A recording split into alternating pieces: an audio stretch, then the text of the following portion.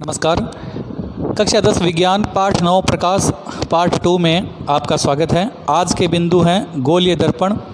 गोलीय दर्पण की परिभाषा, उसके प्रकार, उसके उपयोग और गोलीय दर्पण से संबंधित शब्दावली के बारे में हम पढ़ेंगे और साथ ही पढ़ेंगे पार्श्व परावर्तन क्या होता है उसके बारे में। इससे पहले वाले पार्ट वन में हमने पढ़ा था, प्रकाश का परावर्तन कैसे कहते हैं, कितने प्रकार का होता है और प्रकाश के परावर्तन के नियम क्या होते हैं? तो चलिए शुरू करते हैं आज का विषय।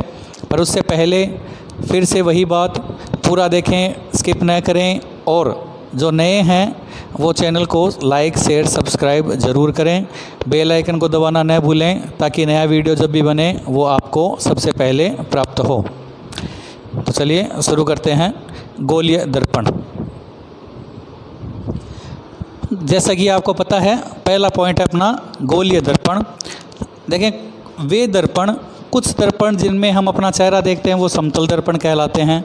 इसके अलावा वे दर्पण जिनका परावर्तक पृष्ठ गोल हो या वक्रित हो, या वक्र हो, टेढ़ा हो, अंदर की ओर दशा हो, या बाहर की ओर उभरा हुआ हो, उन्हें हम गोलीय दर्पण कहते हैं। जैसे तो सबसे पहले परिभाषा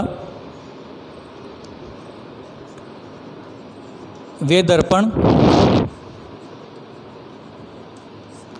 जिनका परावर्तक पृष्ठ।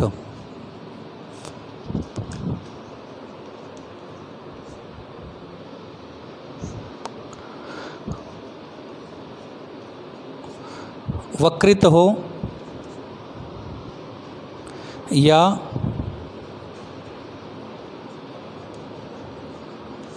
गोलीय हो गोलीय दर्पण कहलाते हैं।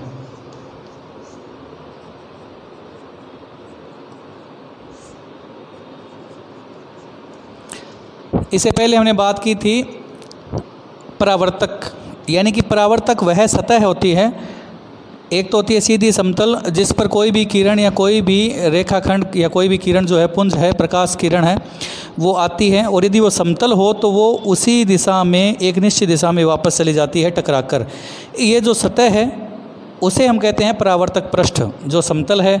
इससे पहले हमने ये तो नियमित का था विस्तृत का भी हमने पढ़ा था इससे पहले कि वो टेढ़ा होता है तो जो प्रकाश की किरण आती है, वो सीधी नहीं होकर भिन्न भिन्न दिशाओं में गमन करती है अलग अलग दिशाओं में गमन करती हुई दिखाई देती है। इस बार हम बात कर रहे हैं गोलीय की, अर्थात ये जो दर्पण का जो पृष्ठ है, वो या तो कुछ उभरा हुआ होगा या अंदर की ओर धसा हुआ हो सकता है। इसे हम कहते हैं वक्रित या टेढ़ा हुआ या गोलीय।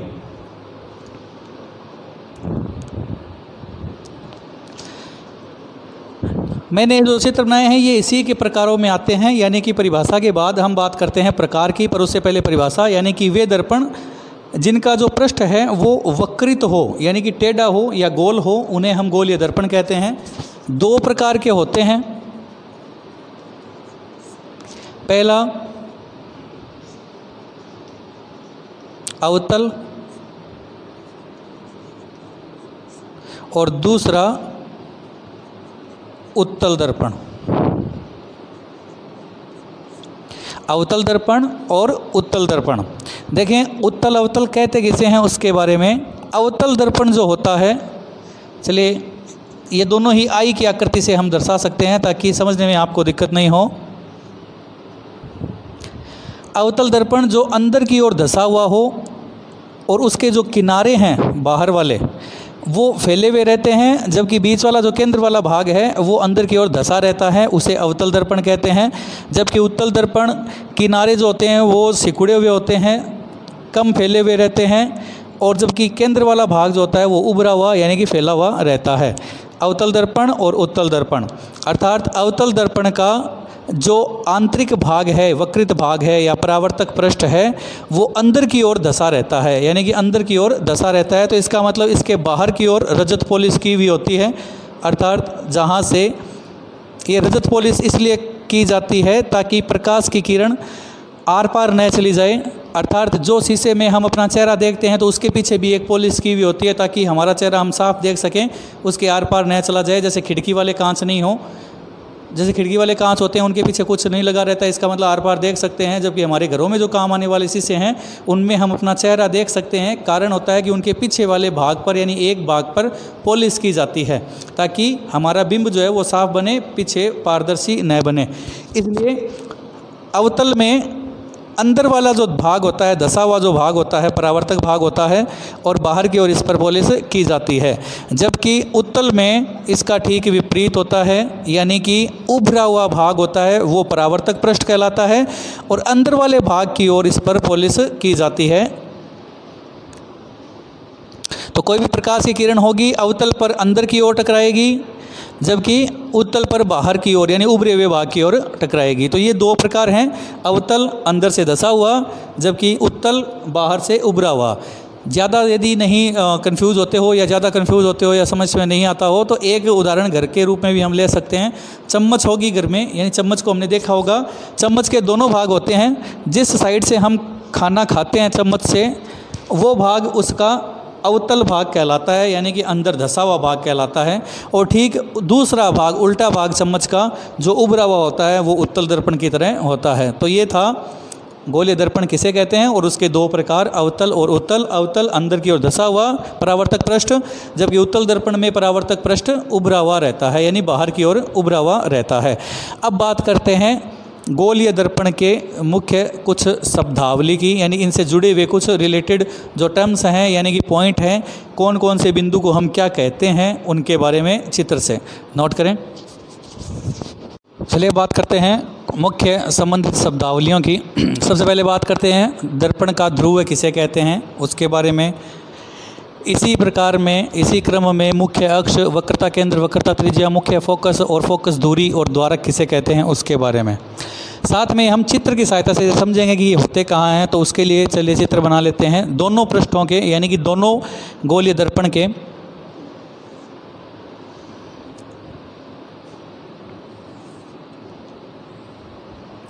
मान लीजिए ये बाहर की ओर लेपित है या बाहर की ओर पॉलिश की गई है, इसका मतलब ये हो गया आपका अवतल।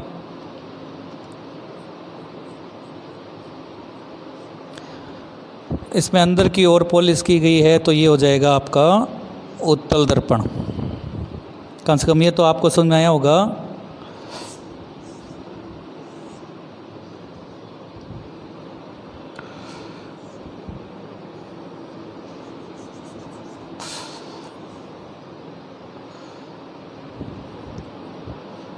कि उत्तल और अवतल कहते किसे हैं?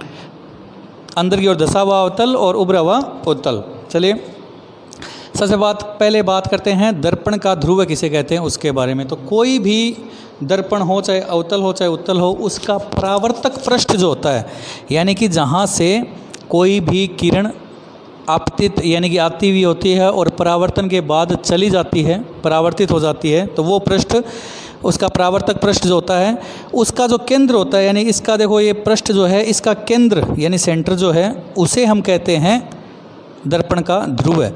जैसे इस प्रावर्तक पृष्ठ का सेंटर मान लीजिए, यहाँ हो गया ये पी जिसे पी से दर्शाते हैं, इसे। तो ये हो गया आपका दर्पण का ध्रुव यानी किसी भी परावर्तक पृष्ठ का केंद्र उस दर्पण का ध्रुव कहलाता है। दूसरा है मुख्य अक्ष। मुख्य अक्ष किसे कहते हैं? क्योंकि ये काल्पनिक रेखा है, जिसे हम इमेजिन कर सकते हैं। होती नहीं। ध्रुव और वक्रता केंद्र, जैसे कि ये वक्र है, इसका केंद्र जैसे हम सी से दर्शाते हैं, वक्रता केंद्र को। ध्रुव और वक्रता केंद्र को मिलाने वाली रेखा, इन दोनों को ध्रुव, यानी पी और सी को मिलाने वाली काल्पनिक रेखा को, जो कि आगे तक चली जाती है, क्योंकि टकराने के बाद में परावर्तित किरण जो होती है, वो कहीं पर भी मिल सकती है, इसलिए इसे मुख्य अक्ष कहते हैं, और ये काल्पनिक होती है।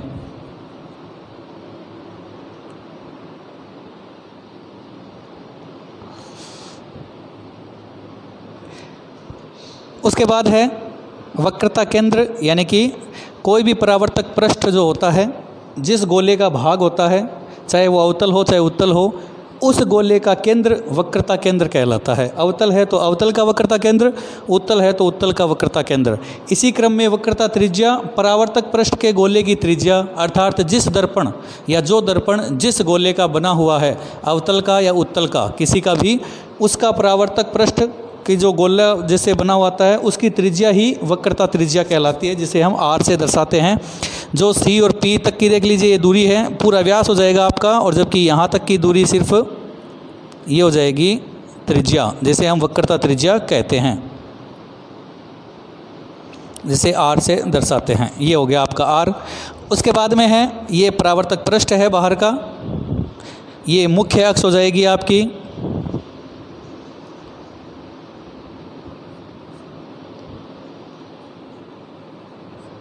ये जो लाइन है, ये रेखा है, काल्पनिक रेखा है, उसे हम कहते हैं मुख्य अक्ष। उसके बाद में मुख्य फोकस किसे कहते हैं? जब कोई भी प्रकाश की किरण या प्रकाश पुंज आता हुआ होता है, जिसे हम आपतित कहते हैं तो आपतित प्रकाश किरण या आपतित प्रकाश पुंज परावर्तन के बाद परावर्तित होकर जिस तरह पृष्ठ से टकराती है तो परावर्तित हो जाती है और परावर्तित होकर वह मुख्य अक्ष के जिस बिंदु पर मिलती हुई दिखाई देती है, उस बिंदु को उस दर्पण का मुख्य फोकस कहते हैं, जिसे कैपिटल एफ़ से दर्शाते हैं। अर्थात परिभाषा है, आपतित किरण परावर्तित होने के बाद मुख्य अक्ष के जिस बिंदु पर मिलती हुई दिखाई देती है या मिलती है, उस बिंदु को दर्पण का मुख्य फोकस कहते हैं, जिसे कैपिटल एफ़ से दर्शाते हैं। इस मुख्य अक्ष पर परावर्तित होने के बाद में बिंदु जो होते हैं, जहाँ जिस जो बिंदु मिलता है, उस बिंदु को ही उसका फोकस बिंदु कहते हैं, मुख्य फोकस कहते हैं।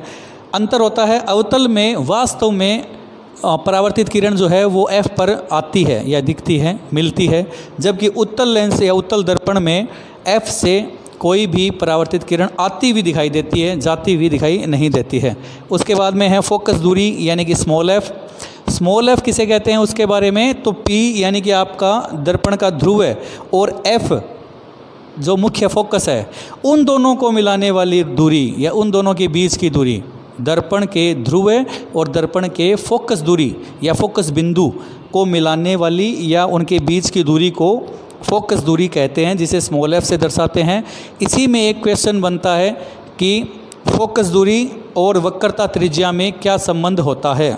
वक्रता त्रिज्या और फोकस दूरी में आपस में संबंध होता है।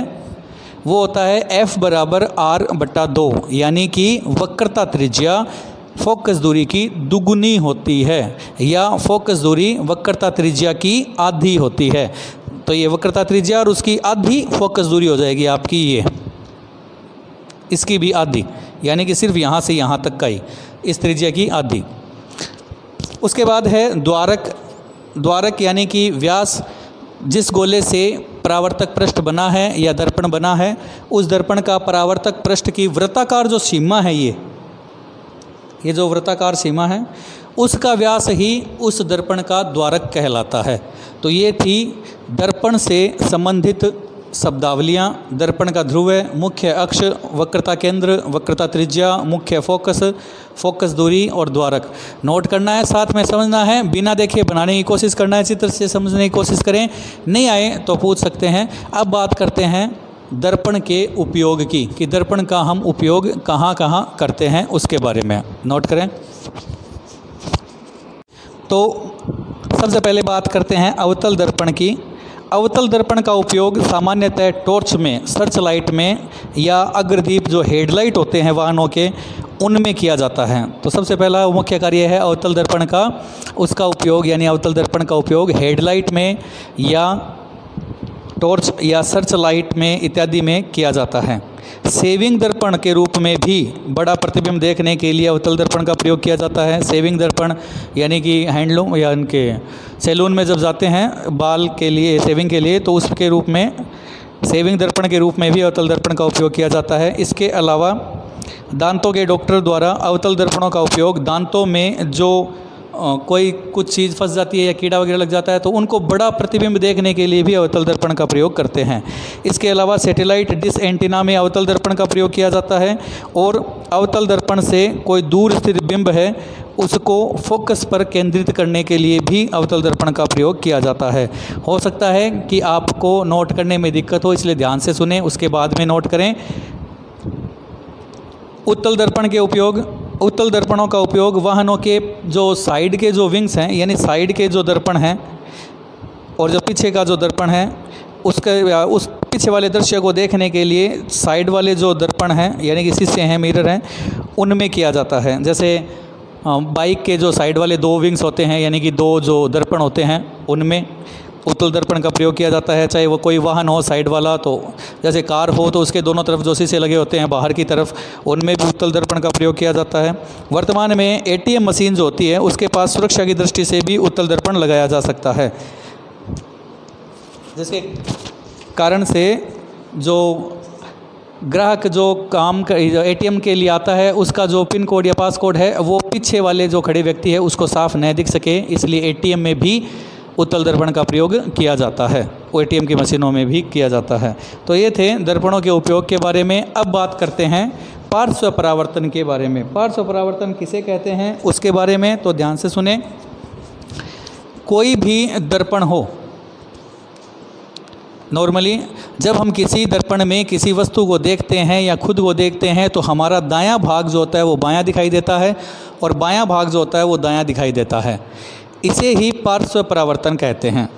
ध्यान से सुने, किसी दर्पण में हमारा या किसी वस्तु का पार्श्व भाग अर्थात देखने पर उसका बायां भाग दायां दिखाई देता है और दायां भाग बायां दिखाई देता है, इसे पार्श्व परावर्तन कहते हैं। ये था हमारा आज का विषय, गोलीय दर्पण किसे कहते हैं, कितने प्रकार का होता है और उनसे संबंधित शब्दावलियाँ और साथ में दर्पणों के उपयोग और पार्श्व परावर्तन के बारे में। उम्मीद है समझ में आया होगा। मिलते हैं इसी के, यानी पाठ नौ के तीसरे भाग में। जल्द ही, आज के लिए इतना ही। धन्यवाद।